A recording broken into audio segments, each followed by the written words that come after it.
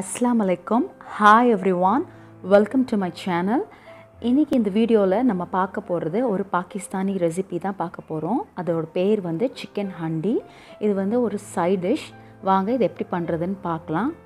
First ஒரு கடாயில் oil ஊற்றி ஹீட் பண்ணிக்கலாம்.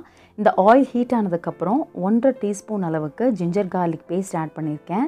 இதை வந்து நல்லா நம்ம வதக்கிக்கலாம். ரா ஸ்மெல் போகிற வரைக்கும் இதை வந்து நம்ம வதக்கிக்கலாம். ஒரு டூ மினிட்ஸ் இது வந்து நல்லா ராஸ்மெல் போயிருச்சு நல்லா வந்து வதங்கிருச்சு. இதுக்கப்புறம் வந்து ஹாஃப் கேஜி அளவுக்கு நான் போன்லெஸ் சிக்கன் எடுத்து வச்சுருக்கேன். நல்லா க்ளீன் பண்ணி வாஷ் பண்ணியிருக்கேன்.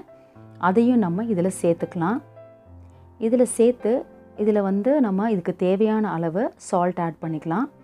அதையும் சேர்த்து நம்ம நல்லா வந்து இதை வந்து குக் பண்ணிக்கலாம்.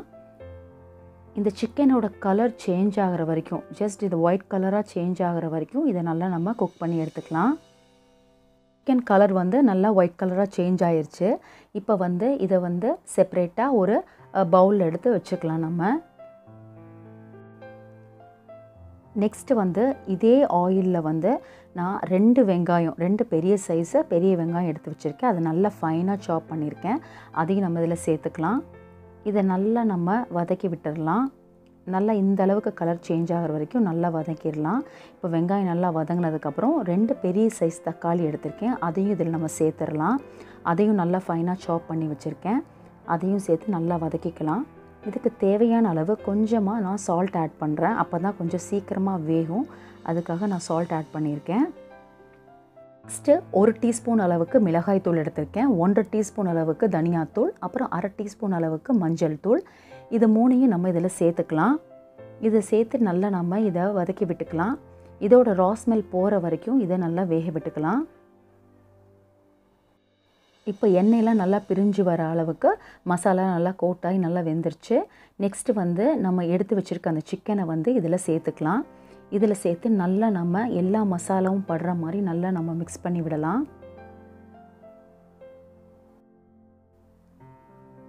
நல்லா மிக்ஸ் பண்ணியாச்சு. இப்போ மிக்ஸ் பண்ணதுக்கப்புறம் ஒரு டூ டு ஃபைவ் மினிட்ஸ் வரைக்கும் ஸ்லோ ஃப்ளேம்லேயே வச்சு நம்ம வேக விடலாம். அப்போ தான் வந்து இந்த கிரேவியோட எசன்ஸ் எல்லாம் இந்த சிக்கனுக்குள்ளே இறங்கும். பாருங்கள் ஆயிலெல்லாம் செப்ரேட் ஆயிடுச்சு இதுக்கப்புறம் வந்து நான் வந்து யோகர்ட் வந்து வச்சுருக்கேன். அது வந்து லைட்டாக நான் நல்லா கரைச்சி வச்சுருக்கேன். அது வந்து ரெண்டு டீஸ்பூன் அளவுக்கு இதில் நான் ஆட் பண்ணியிருக்கேன். இதை ஆட் பண்ணிவிட்டு ஒரு அரை டம்ளர் அளவுக்கு தண்ணி வந்து ஆட் பண்ணுறேன் தண்ணி ஊற்றி வேக வைக்கும்போது இன்னும் நல்லா இருக்கும். கிரேவியும் கொஞ்சம் ஜாஸ்தியாக வரும். நல்லா மிக்ஸ் பண்ணி விட்டுட்டு திரும்பவும் ஒரு டென் மினிட்ஸ்க்கு வந்து மீடியம் ஃப்ளேமில் வந்து நம்ம லிட் போட்டு க்ளோஸ் பண்ணி வேக வைக்கும்போது இன்னும் நல்லா சிக்கன் வந்து நல்லா வெந்துடும் அதனால் ஒரு டென் மினிட்ஸ்க்கு நம்ம லிட் போட்டு க்ளோஸ் பண்ணி வேக வச்சு வைக்கலாம். இப்போ வந்து டென் மினிட்ஸ் ஆயிடுச்சு நம்ம ஓப்பன் பண்ணி பார்க்கலாம். பாருங்கள் இப்போ நல்லா வந்து சிக்கன் வந்து நல்லா வெந்துருச்சு.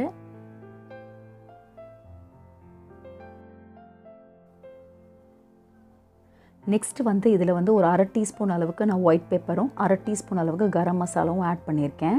இது வந்து லாஸ்ட்டாக தான் நம்ம ஆட் பண்ணணும். அப்புறம் ஒரு பச்சை மிளகாவை நான் கட் பண்ணி போட்டிருக்கேன்.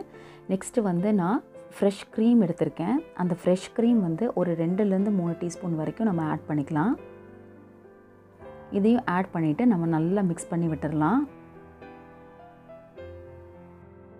இந்த ஃப்ரெஷ் க்ரீம் வந்து நம்ம ஆட் பண்ணுறதுனால இந்த கிரேவி வந்து நல்லா ரிச்சாக இருக்கும். அதே மாதிரி நல்லா டேஸ்டியாகவும் இருக்கும் க்ரீமியாகவும் இருக்கும். அதனால் இதை நான் ஆட் பண்ணுறேன் நல்லா மிக்ஸ் பண்ணி விட்டுடலாம் பாருங்கள் நல்லா வந்து இப்போ கொதிச்சிட்டு இருக்கு.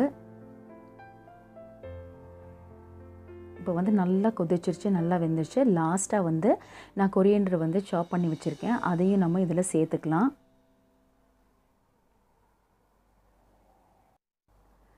இப்போ சிக்கன் ஹண்டி வந்து ஃபுல்லாக வந்து ரெடி ஆயிடுச்சு இதுதான் வந்து லாஸ்ட் ஸ்டேஜ் இப்போ வந்து நம்ம வந்து நல்லா இதெல்லாம் மிக்ஸ் பண்ணி விட்டுட்டு ஒரு ரெண்டு நிமிஷத்துக்கு மட்டும் ஸ்லோ ஃப்ளேம்லேயே வச்சு லைட்டாக வந்து குக் பண்ணிக்கலாம். இப்போ சிக்கன் ஹண்டி ரெடி ஆயிடுச்சு இது பார்க்குறதுக்கே ரொம்ப கலர்ஃபுல்லாக இருக்குது பார்க்குறதுக்கு மட்டும் இல்லாமல் டேஸ்ட்டாகவும் இருக்கும். ரொம்ப ரொம்ப டேஸ்ட்டாக இருக்கும். ஏன்னா இதில் நம்ம ஆட் பண்ணியிருக்க ஃப்ரெஷ் க்ரீம் மற்ற யோகர்ட் இந்த மாதிரி எல்லா திங்ஸுமே ரொம்ப வந்து இதோட டேஸ்ட்டை வந்து என்ஹான்ஸ் பண்ணி கொடுக்கும். அதனால் வந்து நிச்சயமாக இது உங்கள் வீட்டில் நீங்கள் ட்ரை பண்ணி பாருங்கள் கண்டிப்பாக உங்களுக்கு ரொம்ப பிடிக்கும். இது வந்து ரொமாலி ரொட்டி அப்புறம் நார்மலான தந்தூரி ரொட்டி சப்பாத்தி ஆர் பரோட்டா எது கூட வேணால் சைட் டிஷ்ஷாக நல்லாயிருக்கும் ஈவன் வித் ஒயிட் ரைஸ் கூட இது ரொம்ப ரொம்ப நல்லாயிருக்கும் நிச்சயமாக உங்கள் வீட்டில் ட்ரை பண்ணி பாருங்கள் கண்டிப்பாக இது எப்படி இருந்ததுன்னு கமெண்ட் பாக்ஸில் சொல்லுங்கள் அதே மாதிரி இந்த வீடியோ உங்களுக்கு ரொம்ப பிடிச்சதுன்னா நீங்கள் லைக் பண்ணுங்கள் ஷேர் பண்ணுங்கள் மறக்காமல் சப்ஸ்கிரைப் பண்ணுங்கள் வேறு ஒரு நல்ல வீடியோவில் சந்திக்கலாம். Until then take care bye and thanks for வாட்சிங்